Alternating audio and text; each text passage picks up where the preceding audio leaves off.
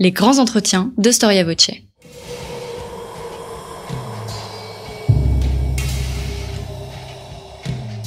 Une émission de la rédaction de Storia Voce.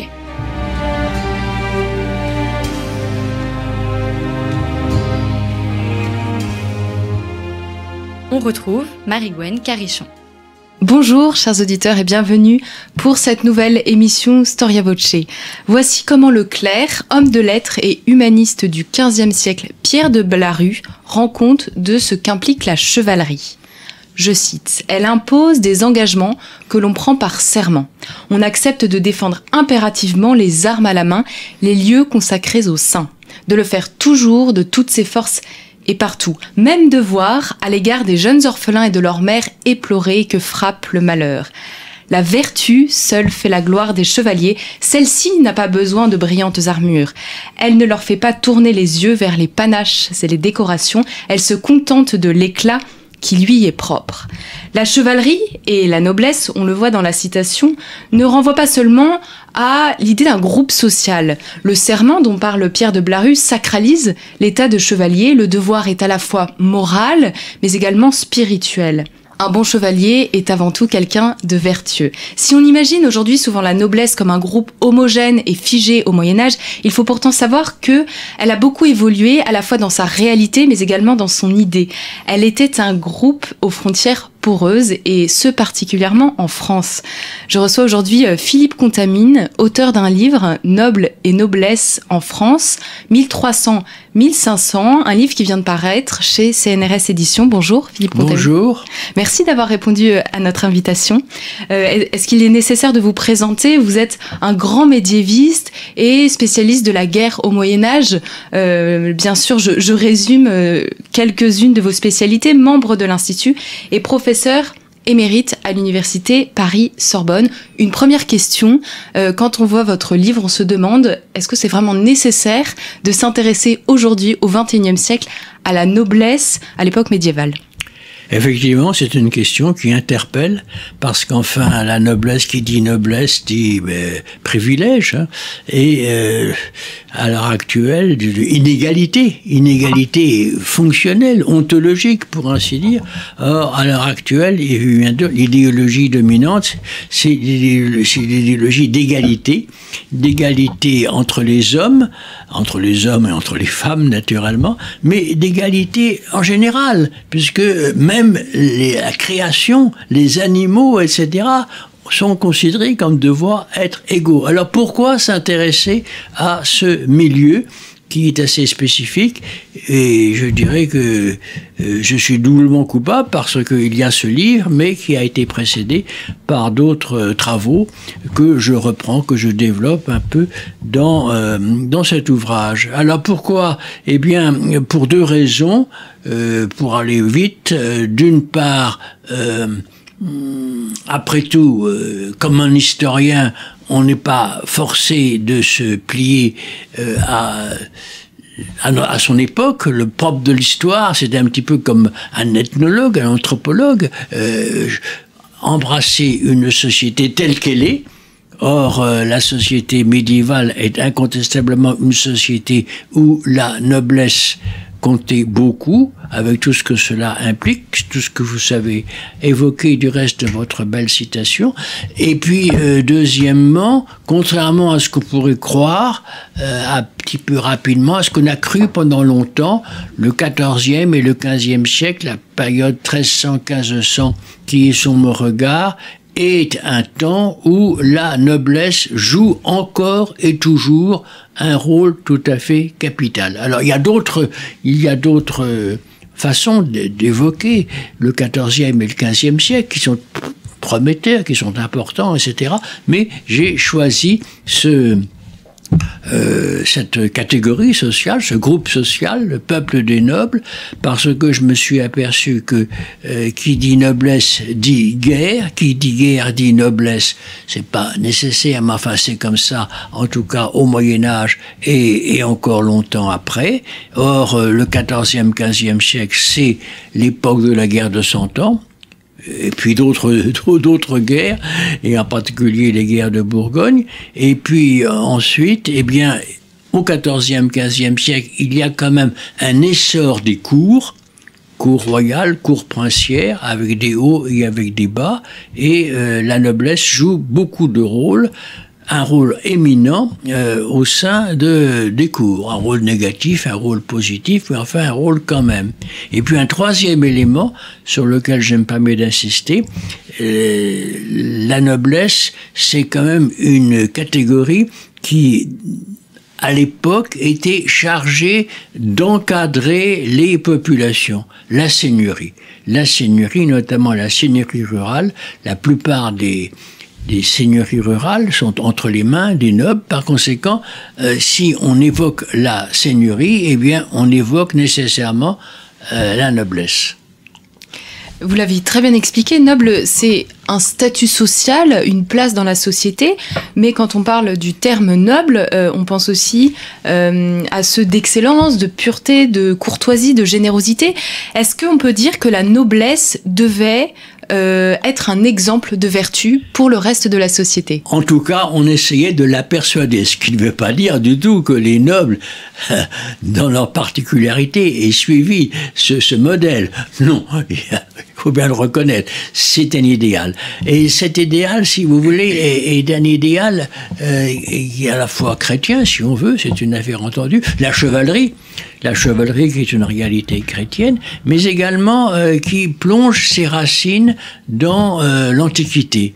Il y a euh, une une satire de Juvénal, je crois que c'est la sixième satire de Juvénal, selon laquelle c'est la vertu qui anoblit. Par conséquent, il y a cette idée que si on n'est pas vertueux, on n'est pas réellement noble et qu'en tout cas, la noblesse est en question si elle s'éloigne de la vertu. Et puis il y a une autre citation qui euh, traverse un petit peu les siècles, qui remonte à Aristote, hein, et la noblesse, ce sont des anciennes richesses les anciennes richesses. Bon, donc les, nouvelles richesses, les nouveaux livres, les nouveaux riches, etc. Bon, mais les anciennes richesses. À partir d'un certain moment où on a un certain statut, où on a un certain style de vie, un habitus, pour employer l'expression de Bourdieu, eh bien, euh, euh, au fil des générations, on acquiert une sorte de noblesse. Donc c'est euh, à l'ombre de ces deux citations, Juvénal et Aristote, que euh, on pensait la noblesse au XIVe et XVe siècle. Si vous permettez, j'ajoute encore que j'ai un petit peu hésité pour savoir si un autre terme n'aurait pas pu être employé, et en particulier le terme d'aristocratie qui vient de l'Antiquité, qui vient encore d'Aristote, mais enfin, etc. L'aristocratie, les meilleurs et tout. Mais j'ai préféré le terme de noble parce que vraiment, c'est le terme le plus répandu à l'époque. Euh, dans l'idée des gens, il y avait deux catégories d'importance numérique tout à fait euh, différentes. À la fois les nobles, donc je suis beaucoup forcé de savoir combien est-ce qu'il y avait de nobles dans le royaume de France, en 1300, en 1400, en 1500, disons, euh, selon les régions, 2%, quelque chose comme ça, 3% quelquefois, 1% ailleurs. Et puis tous les autres, c'est-à-dire quand même, en dehors des clercs, 95% des gens, eh bien c'était les non-nobles, définis négativement. Donc euh, j'ai pensé que le terme de noble, qui est le terme de l'époque, devait être retenu. Alors on aurait pu parler de gentilhomme, gentillesse, etc. Mais le terme de gentil euh, met à mon avis trop l'importance sur euh, sur le sang. la noblesse et le sang, c'est une affaire entendue. Mais en plus, il y a euh, ce fait que la noblesse est priée d'aller au-delà, pour ainsi dire, d'elle-même. Alors un terme aussi que j'aurais pu employer, c'est le terme d'élite, mais justement, c'est l'un des objectifs de ce livre de montrer que toutes les élites euh, n'étaient pas nobles et tous les nobles ne faisaient pas partie réellement des élites. Oui, c'est très pertinent ce que vous dites, c'est très intéressant de le, réexpliquer. On verra aussi la différence entre chevalier et noble euh, dans un second temps. Euh, avant cela, pouvez-vous, Philippe Contamine, justifier, expliquer les bornes chronologiques de votre étude, donc 1300-1500 C'est une commodité, parce que je pense que l'histoire de la noblesse en France en tout cas, s'inscrit dans la longue durée. Disons que la noblesse féodale, la noblesse féodale à partir de l'an 1000 si vous voulez, et encore plus à partir de la croisade, parce qu'il y a un lien évident entre la croisade et la noblesse. Songeons à Saint-Bernard, l'éloge de la nouvelle chevalerie. Et puis la noblesse de France se poursuit jusqu'à la Révolution française, qui marque naturellement une coupure, 1789-1790. Après quoi, il y a une résurrection, mais enfin, nous sommes dans un autre monde. Par conséquent, euh, dans mon idée, 1300-1500, c'est une étape, un moment, un moment important, mais un moment dans une histoire très longue. D'autant que la noblesse, les nobles se pensent volontiers par rapport à la tradition, à la transmission, à la reproduction, comme, euh, comme dirait là encore euh, euh, Pierre Bourdieu.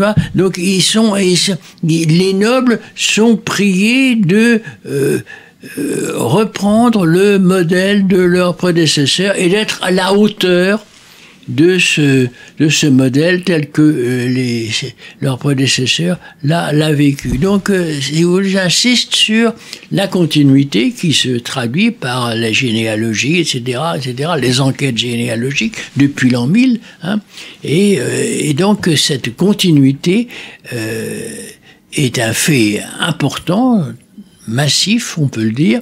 Et dans cette perspective-là, la période 1300-1500, c'est une étape. Euh, vous dites que euh, les nobles euh, sont attachés à cette idée de lignage, de tradition, mais selon l'historien Édouard de Perrois que vous citez dans votre prologue, ce dernier dit peu de lignages nobles ont duré plus de six générations. Mais alors comment la noblesse se maintient-elle? Si au bout de six générations elle a presque disparu en fait. Pourquoi n'a-t-elle pas disparu Absolument. Donc je vous remercie de citer ce passage d'Edouard Perrois qui a été mon maître, un maître exigeant qui était professeur à la Sorbonne à l'époque où je faisais mes études et, il était spécialiste d'une province, le Forez. Il était originaire, sa famille lui-même était originaire du Forez, et il a euh, entrepris une magnifique enquête, on peut le dire, en deux volumes, sur les familles nobles du Forez, justement entre le XIIIe et euh, la fin du XVe siècle. Et il a essayé de reconstituer des lignages et il s'est aperçu que les lignages s'interrompaient et que d'autres lignages apparaissaient. C'est une, une, une entreprise, une enquête euh, qui est assez unique. Donc euh, j'extrapole le modèle perrois, si vous voulez, mais après tout, il n'est pas évident qu'il se reproduise euh, la même chose. Et puis, Edouard Perrois avait quand même un petit peu une, une, limite, à savoir qu'il s'intéressait surtout à la descendance masculine, mais il y a également la descendance féminine. Donc peut-être que il a un petit peu durci le trait, mais je crois que fondamentalement, il y a un renouvellement profond du milieu nobiliaire entre 1300 et 1500. Peut-être même que ce renouvellement est plus rapide que ce qui s'est passé, disons, à l'époque de Saint-Louis ou à l'époque de François Ier. Peut-être, à cause de toutes sortes d'événements, la guerre n'étant qu'un d'eux.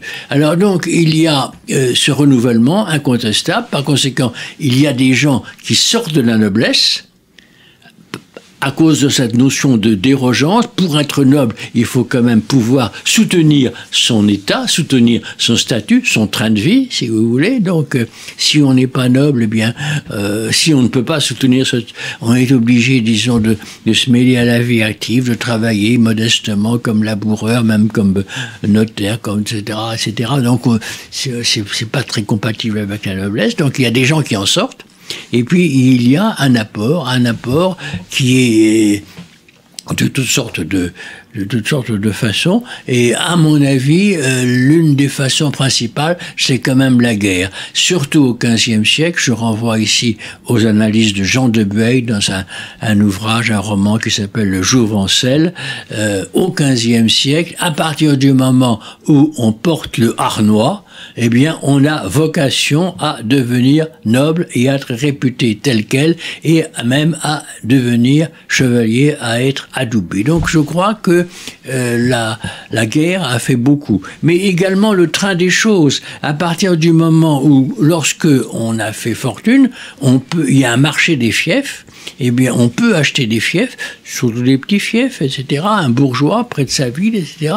Il achète une campagne qui est un fief, etc. Donc, lui-même euh, n'est peut-être pas réputé noble, mais son fils, mais son petit-fils, à condition, naturellement, à condition de mener le train de vie noble, d'avoir un petit peu la mentalité nobiliaire, eh bien, et par l'acquisition des fiefs sur la longue durée, on disait en général trois générations, on s'agrège à la noblesse. Et puis également, il y a euh, les lettres d'anoblissement que les princes et surtout les rois de France accordent pour service rendu, c'est un autre apport de la noblesse. Donc le résultat, c'est que euh, ce milieu, qui en réalité devrait, qui théoriquement devrait être euh, strictement héréditaire, hein, le sang, le sang, le sang, eh bien en réalité, il se, il se renouvelle. Et il se renouvelle spécialement en France parce que, à la différence d'autres pays comme le monde germanique, on est noble, il suffit d'être, d'avoir un père noble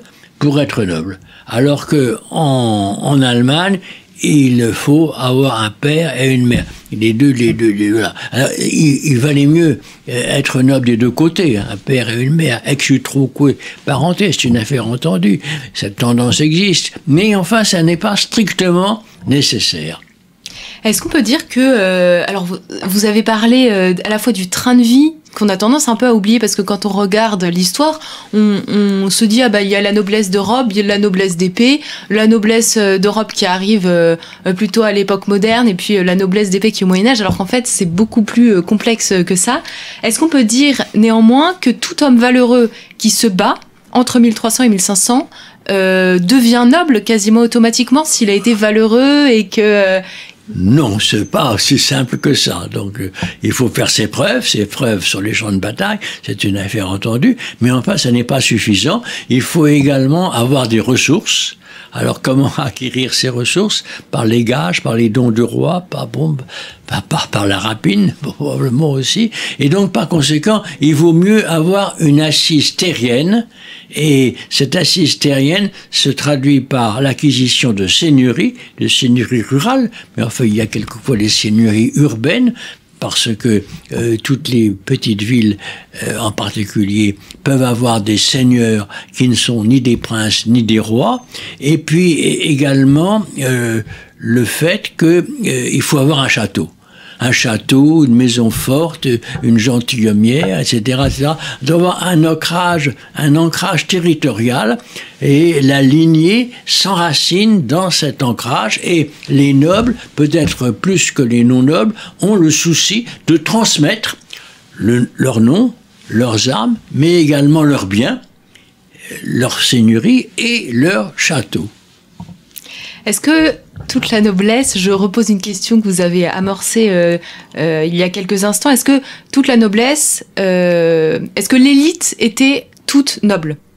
Non, non, je crois que la, disons, la société de la fin du Moyen Âge est peut-être moins complexe que la société actuelle, mais enfin, elle est quand même assez complexe. D'abord, il y a, il y a dans l'élite, il y a le clergé, et notamment le haut clergé. Alors le haut clergé, c'est peut-être prieur d'un couvent, ça peut être abbé d'un monastère, euh, ça peut être chanoine euh, d'un chapitre cathédral, mais ça peut être également évêque, etc.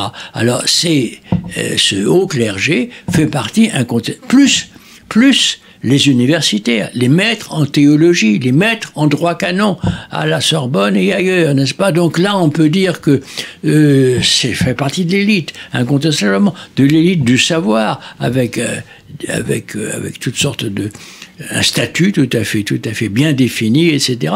Alors, euh, c'est ce haut clergé, il peut être d'origine nobiliaire. Ça, c'est une affaire entendue, même assez fréquemment. Mais je pense que une fois qu'on est entré dans les ordres, eh bien, c'est le fait d'appartenir à l'ordre du clergé qui prime sur l'origine sociale. C'est comme ça que je vois. Donc là, il y a un élément. Et puis, il y a toutes ces villes. Alors, la fin du Moyen Âge, dans l'ensemble, euh, montre, euh, témoigne d'un accroissement du nombre des villes. C'est... Euh, ce n'est peut-être pas valable pour toutes les époques, c'est peut-être pas valable pour toutes les régions, mais dans l'ensemble. Or, les villes, il y a quand même une bourgeoisie. Une bourgeoisie marchande, c'est une affaire entendue, Jacques et compagnie, on pense toujours à eux, mais également une bourgeoisie fils, c'est-à-dire des gens qui euh, sont chargés de responsabilité de caractère public, ce qui va donner ultérieurement la noblesse de robe, euh, laquelle commence à se décide, sans que l'expression existe, se, définit à partir du XIVe et du XVe siècle, et puis ça va s'épanouir au XVIe et au XVIIe siècle. Donc je crois que on peut dire que euh, ces gens-là font partie de l'élite. Et, en revanche, eh bien, pourquoi est-ce que la noblesse, des nobles ne sont pas, ne sont pas, font pas partie de l'élite? Ça peut se discuter. Parce que, si vous voulez, il y a toutes sortes d'élites au sommet, etc., etc. Après tout, dans une paroisse, dans une paroisse, euh, un, un noble est quand même respecté, surtout qu'il a son château, son manoir, etc., une seigneurie et tout. Et au niveau de la vie paroissiale, ça compte. Mais enfin, c'est une élite très modeste. Et donc, on peut dire que euh, même si euh, les nobles se considéraient volontiers comme faisant partie de l'élite, c'est une, une évidence, euh, objectivement, on peut se poser la question. Oui, Michel Nassier parle à ce sujet de plèbe nobiliaire. Voilà, alors le plèbe nobiliaire, un oxymore, comme on dit, etc. Le fait est quand même que, si vous voulez, la noblesse, euh, c'est peut-être 2%, 3% de la population. Depuis, après tout, depuis le roi jusqu'au euh, plus modeste damoiseau, jusqu'au plus modeste gentilhomme, unifié par, euh, par le mythe de la chevalerie, si on veut. Mais les, contrastes sont si importants qu'il est difficile, disons, de ne pas les de ne pas les passer sous silence. Alors je pense pour ma part que il y a plusieurs niveaux. Disons, il y a le niveau des princes, il y a un niveau des seigneurs, des grands seigneurs, des seigneurs châtelains, des barons, etc. Et puis il y a les niveaux des chevaliers, et puis il y a le niveau des simples écuyers bien, qu'on appelle également gentilhomme, qu'on appelle également donzo, ça dépend un petit peu de la formule. Et donc euh, la chevalerie, c'est euh, trans, c'est trans niveau si vous voulez, mais euh, il y a spécifiquement euh, à l'intérieur de la noblesse une catégorie qu'on appelle la catégorie des chevaliers, c'est-à-dire des gens qui euh, ont été adoubés, qui sont recensés comme tels, qui apparaissent comme tels dans la documentation. On oublie, on n'oublie jamais les titres au Moyen Âge. On n'oublie jamais les titres. Et donc ces chevaliers, on les rencontre au XIVe, au XVe siècle, etc. Donc j'ai fait pas mal d'enquêtes à ce sujet et je me suis aperçu qu'il y avait de moins en moins de chevaliers entre 1300 et 1500. Mais l'esprit chevaleresque subsiste. Est-ce que l'esprit chevaleresque, on peut le définir en partie euh, par le service? Service de l'État, service de l'Église Alors j'insiste beaucoup là-dessus, effectivement, parce que euh, le service de l'État, le service du roi, on pense volontiers à, Versailles. On passe volontiers à Louis XIV qui euh, met euh, tous les nobles à son service, etc. Et donc euh, le château de Versailles, c'est un endroit où la cour, si vous voulez, où où la catégorie des nobles est priée de se montrer sa fidélité au roi. Et donc je crois que c'est quelque chose de très ancien, et dès le XIVe, dès le XVe siècle, le service du prince compte beaucoup notamment, notamment en France. Autrement dit, on aurait pu imaginer un, un, régime où il y a le prince, il y a le roi, et puis il y a les féodaux. Les féodaux qui se disent, mais si le prince, si le roi devient trop puissant, que devient notre statut de liberté, d'indépendance, de franchise, de privilège, etc.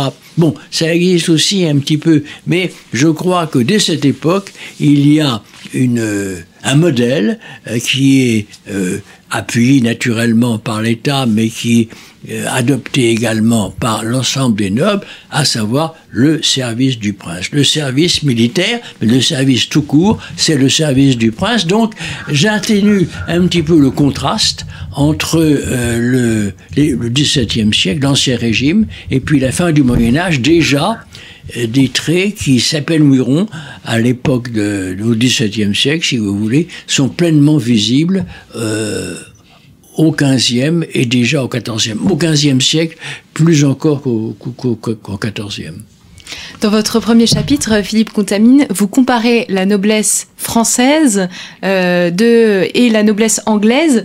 Euh, cette démarche nous incite à nous demander si euh, les souverains et les nobles de l'époque regardaient également les noblesses européennes pour voir quelles étaient leurs différences et essayer de copier ou au contraire de se détacher des modèles qui les entouraient. Ce, ce, ce parallèle entre la noblesse française et puis la nobilité la gentry anglaise, bon, je, je l'ai risqué.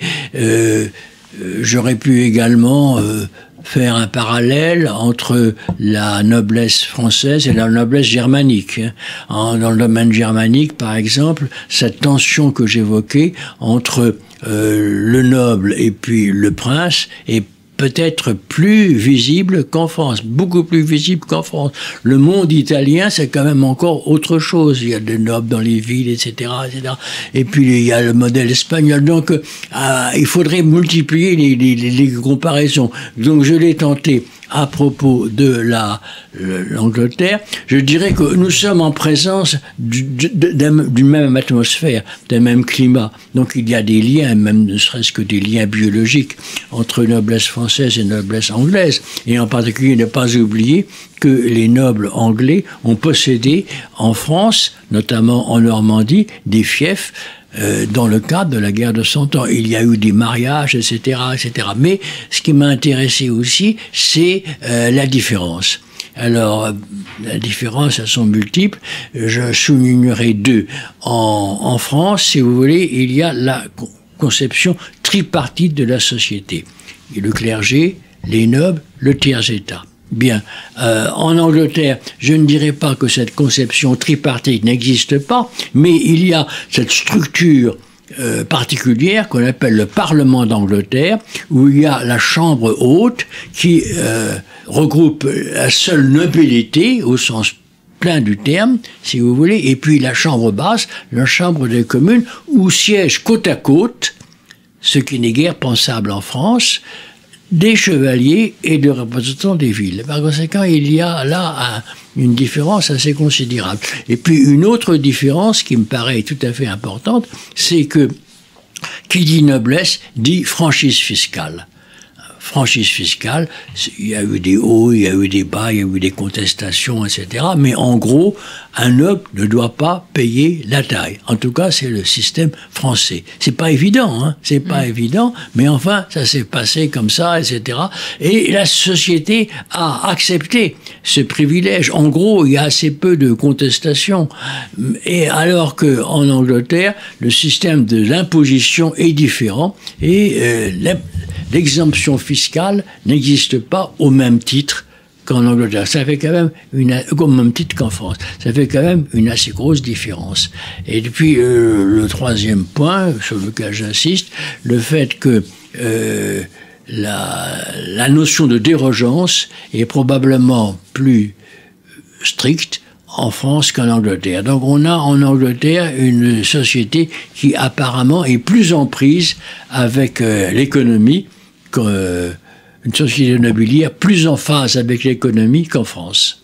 Vous dites également que la noblesse anglaise euh, semble plus installée, plus stable euh, que la noblesse française, qui elle apparaît comme assez ouverte et, voilà, et être définie par des frontières assez poreuses par rapport aux autres groupes sociaux. Voilà, tout à fait. Absolument, en tout cas c'est ce que j'ai saisi. Mais en gros, si vous voulez, il y a quand même beaucoup plus de points de, de, de ressemblance que de points de dissemblance. Ne serait-ce que du point de vue du noble, du nombre, statistiquement, euh, en gros, c'est à peu près la même chose. Hein. On peut hein, s'interroger et tout, mais euh, la noblesse en France est ultra minoritaire, la noblesse en Angleterre est ultra minoritaire également. Donc il y a quand même là un truc. Et puis, euh, j'insiste beaucoup sur le fait que euh, disons, euh, la société d'affaires du Moyen Âge, en France aussi bien qu'en Angleterre, est une société qui s'organise autour de fidélité. Il y a des fidèles, il y a des réseaux, etc. Alors, fidélité qui est à base contractuelle ou non contractuelle, ça dépend. C'est plus contractuel en Angleterre qu'en France, mais euh, disons que on retrouve un petit peu la même atmosphère. Chaque seigneur avait ses propres fidèles qui portent leur, euh, sa livrée, etc., etc. Et bien, ce même phénomène se trouve, se, se trouve de part et d'autre de la Manche. Est-ce qu'un noble habite forcément dans un château? Ah, ça dépend de ce qu'on appelle château. Euh, le fait est qu'il y a beaucoup de châteaux dans la France médiévale, énormément de châteaux. Mais enfin, disons qu'il y a euh, euh, des, des, des, niveaux. Hein. Un château au sens plein du terme, c'est, euh, disons, au centre d'une châtellenie. Château dit châtellenie. Donc, une châtellenie, donc ça représentait, si vous voulez, l'équivalent d'un canton, peut-être pas un canton actuel, parce que les cantons ont été regroupés depuis quelques années, mais un canton traditionnel. Donc, euh, le, seigneur châtelain, il a des droits éminents à l'intérieur de sa châtellenie. Là, il peut se faire représenter par un, un, officier, un châtelain, mais le seigneur châtelain, c'est ça. Et puis à côté de cela, il y a la maison forte, qui est plus modeste, et puis euh, il y a également la maison plate qui est encore plus modeste. Sans compter, si vous voulez, les hôtels nobles à l'intérieur des villes. Donc, je crois que si on regarde les choses dans le détail, on s'aperçoit que euh, la noblesse, classe privilégiée, euh, réside dans un habitat privilégié, mais avec des, avec des nuances à l'intérieur de cet habitat. Bon, il y a des grands châteaux somptueux, etc.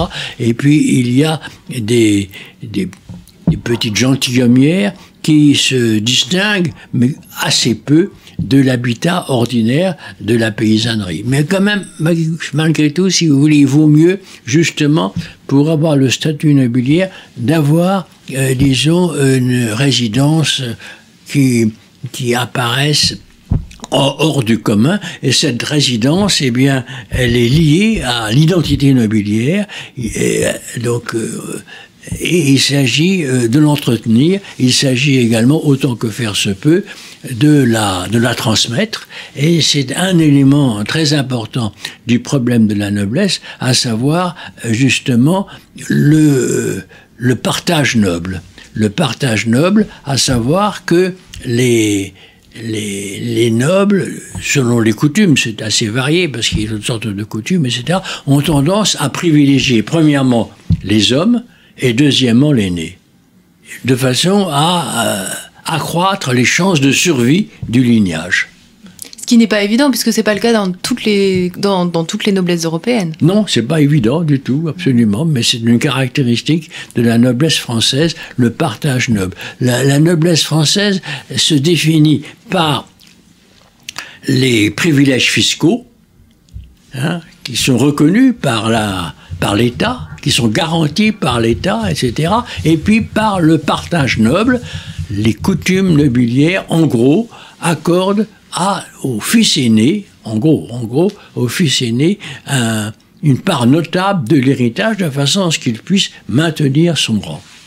Il y a un, imaginaire autour du château et c'est un des sujets euh, de, votre livre, un des chapitres de votre livre, le chapitre 6. Euh, vous étudiez le château dans les chroniques de Jean Froissart. Qu'est-ce qu'est-ce qu'apportent ces chroniques pour comprendre la réalité de la noblesse et pourquoi vous avez décidé euh, de travailler sur cette réalité qu'est le château? Eh bien, parce que effectivement, quand on regarde les chroniques, Jean Froissart, c'est le chroniqueur de la chevalerie. Il n'est pas que le chroniqueur de la chevalerie. Je pense que son regard va au-delà, mais enfin, de façon privilégiée, c'est le chroniqueur de la chevalerie pendant la première partie de la guerre de Cent Ans, chevalerie anglaise, chevalerie française. Et donc, euh, euh au XIVe siècle, on s'aperçoit que la guerre, euh, ce sont des batailles, ce sont des chevauchés, mais également ce sont des guerres de siège. On attaque des, des places fortes ou on défend des places fortes. Et donc, plus qu'au XVe siècle, où euh, les opérations militaires se concentrent autour des villes, euh, le siège d'Orléans par exemple, il y en a d'autres, etc. Au XIVe siècle, le siège des châteaux euh, est d'une très grande importance. Alors, ça apparaît à chaque instant, à chaque détour de ces immenses récits qu'on appelle les chroniques de Froissart. Donc j'ai été frappé par cela et j'ai voulu mettre en lumière, mettre en vedette euh, ces processus, ce processus d'attaque, de défense, non pas simplement de villes, mais prioritairement de châteaux. Alors donc, euh, Froissart se répète, il faut bien le reconnaître, un petit peu stéréotypé, etc.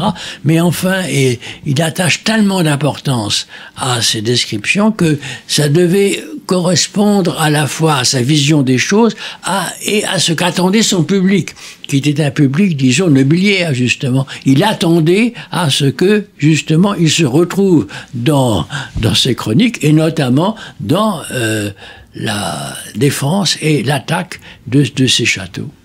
Alors aujourd'hui, euh, le château nous évoque en effet la chevalerie, euh, la noblesse, mais de manière un peu plus commune, euh, c'est surtout la particule du nom de famille qui alerte, et c'est quand on entend euh, cette particule qu'on qu suppose que le nom de famille est rattaché à une réalité nobiliaire. Mais c'est pas une évidence.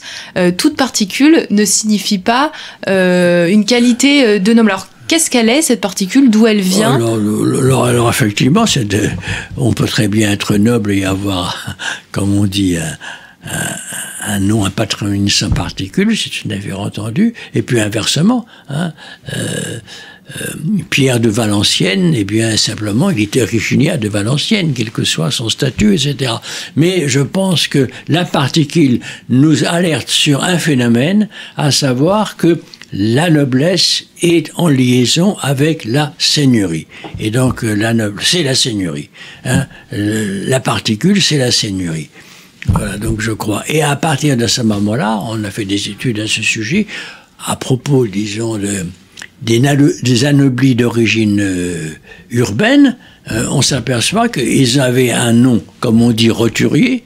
Le terme de roturier commence à apparaître au XVe siècle. Et puis s'ajoute à cela seigneur d'eux. Et puis le nom roturier disparaît. Et puis il reste le prénom, le nom de baptême. Et puis la seigneurie. Voilà. Et donc la seigneurie, donc c'est un petit peu compliqué, etc. Mais enfin, qu'on peut transmettre euh, euh, de génération en génération. Quels sont les loisirs, les activités qui sont réservées à la noblesse? Euh, Réservées, je ne sais pas. Mais enfin, on en a déjà parlé à propos de la guerre, hein, même si tous les hommes de guerre ne, sont pas nobles, c'est une affaire entendue, mais enfin c'est l'activité privilégiée, hein, et donc euh, ça, ça implique beaucoup de choses, parce que normalement, les nobles se battent à cheval. Et normalement, ces chevaux leur appartiennent. Et normalement, euh, pour se battre, on n'est pas seul. Il faut plusieurs montures, il faut un valet d'armes, etc., un page, que sais-je, et tout. Et tout cela, eh bien, c'est à leurs frais si bien que les gages du roi ne sont pas nécessairement suffisants pour euh, entretenir ce. Donc il y a la guerre, et puis également il y a la chasse, hein, la chasse à court, la chasse au vol, tout genre de chasse, etc. C'est pas uniquement réservé aux nobles, mais enfin quand même et donc ça signifie, si vous voulez, que les nobles sont, euh, disons, c'est un plaisir, c'est un délassement, c'est une affaire entendue euh, à travers tout l'ancien régime, peut-être encore aujourd'hui, je n'en sais rien, mais les euh, la chasse, c'est un délassement, mais c'est également la maîtrise de l'espace. et donc euh, des espaces qui sont réservés aux nobles pour la chasse. Donc, si vous voulez, ça, euh, ça implique, disons, une certaine puissance. Et puis, euh, et puis, et, puis il y a la conversation courtoise, etc. Bon, on parle de, les nobles sont, censés parler d'amour, de chiens, d'oiseaux et de guerre et d'armes. voilà. Alors je ne dirais pas qu'ils étaient uniquement concentrés à cela, mais enfin, ils sont priés quand même de ne pas être, être étrangers à ces quatre catégories. Hein. Les chiens, les oiseaux, l'amour, l'amour courtois naturellement, l'amour courtois, ils sont censés le respecter, ce qui n'est pas évident, et puis les armes. C'est bien que, si vous voulez, le propre, c'est aussi, on se pose la question à savoir, bon, euh, qui est noble dans un, dans un village, etc., dans une paroisse, qui ne l'est pas et tout. Il y a des interrogations, puisque euh, la noblesse euh, implique des privilèges fiscaux. À partir du moment où, dans une, un village donné, il y a un noble, eh bien, on ne peut pas l'inclure, disons, dans la contribution générale de ce village, qu'ensuite qui ensuite euh, transmise au roi, etc. Donc évidemment, les contribuables non nobles se disent, ben, on n'a pas intérêt à ce que les nobles se multiplient. Et un tel, est-ce qu'il est vraiment noble et tout? Et donc il y a des procès à ce sujet, à la Cour des aides, d'ailleurs, des enquêtes qui sont tout à fait intéressantes pour savoir justement ce qu'avaient les gens derrière la tête lorsqu'ils parlaient de nobles. Et euh, l'une des façons de définir la noblesse, il suit la guerre, il suit la guerre, donc c'est euh, avec des risques, avec des dépenses, etc., un style de vie et tout. Et puis, il fréquente les nobles.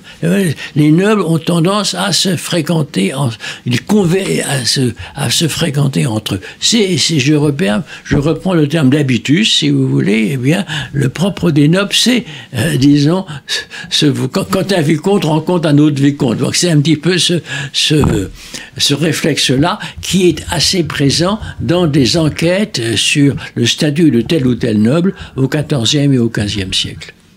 Euh, les deux derniers chapitres de votre livre euh, parlent des chevaux. Vous venez un petit peu d'en parler.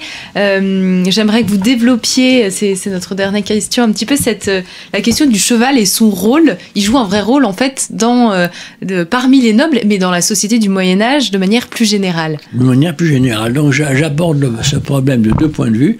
D'abord, dames à cheval, parce que mon idée, j'essaie de voir un petit peu dans quelle mesure ces nobles dames euh, pouvait se déplacer, comment elle se déplaçait. Et mon sentiment, c'est qu'il y avait plusieurs formules, mais que, en gros, les femmes de la fin du les dames de la fin du Moyen Âge étaient moins cloîtrées qu'on pourrait le penser. Donc, euh, elles, euh, elle, montait à cheval, et elle montait à cheval de différentes façons, etc. En trousse, comme on disait, derrière leurs cavaliers, c'est un affaire entendu. On les entassait quelquefois dans des chariots, ce qui n'était pas très agréable.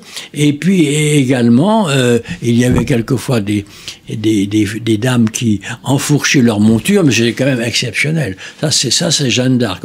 Elle n'est pas unique, mais enfin, c'est exceptionnel. Les Amazones, donc on connaissait les Amazones euh, au 14e, 15 siècle, il y a des représentations, etc. Les Amazones de l'Antiquité sont représentées comme montant à cheval, enfourchant leur monture. Mais la façon la plus fréquente pour les dames, c'était de monter euh, en Amazon, comme on aurait dit au 19e siècle, euh, à savoir sur des selles particuliers, des selles de dames, et ce qui était à la fois une performance, un petit peu fragile, etc., avec un problème d'étrier, etc. Donc c'était pas très, très, très, très, très stable. Il y a beaucoup d'accidents de chasse, hein. beaucoup d'accidents de cheval pour, les dames, enfin, ça existait aussi. Mais en tout cas, elles pouvaient quand même se déplacer, elles avaient leurs propres écuries, et il y avait les haquenets, qui leur a été en principe réservé parce que c'était des animaux qui étaient euh, dressés pour euh, se déplacer euh, mollement avec le minimum de euh, de vigueur. Voilà, absolument, etc. Et puis alors, je dirais que euh, effectivement, le cheval noble, euh, c'est quelque chose de très important, le cheval de nom et d'armes, comme vous voulez, quelque chose de très important, et on s'aperçoit que ces chevaux étaient représentés, ces chevaux étaient décrits dans les images, etc., dans la quantité, étaient décrits dans les chroniques, en particulier Guillaume Le Seur, qui est un chroniqueur du XVe siècle, s'attache beaucoup à... Euh, décrire les chevaux, les montures, etc., etc.